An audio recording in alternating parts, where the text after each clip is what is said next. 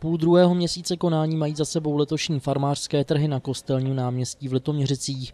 První nabídky farmářů se ještě potýkaly s nepřízní počasí, i tak si ale kupující na trhy cestu za čerstvým zbožím našli. Nyní již začíná návštěvnost nabírat na obrátkách a také stánku stále přibývá. Tím trhákem je určitě jarní zelenina, široký sortiment od nových brambor, květáků, mrkve, čerstvý chřest, špenát, čerstvá rukola. To je určitě tahákem těch, těch letošních, ale ale hlavně těch dnešních trhů samozřejmě. Budeme určitě pořád pokračovat eh, se zeleninou, to je určitě šlágr, eh, ovoce už samozřejmě přibyde, měly by to být i první třešně, hlavně jahody, samozřejmě se budou doprodávat a chybí nám tady vajíčka, nemůžeme zatím sehnat nějakého dodavatele domácích vajec, určitě je to ovlivněno také samozřejmě eh, takovou tou nomenklaturou, to znamená hygienické zákony, veterinární zákony, trošičku jsou tady podmínky, které asi e, nebudou splňovat, takže scháníme prodejce vajec.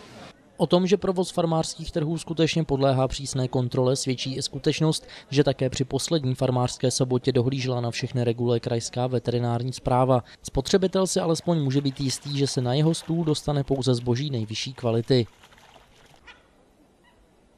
Farmářské trhy se na kostelní náměstí v Litoměřicích vrátí opět za 14 dní.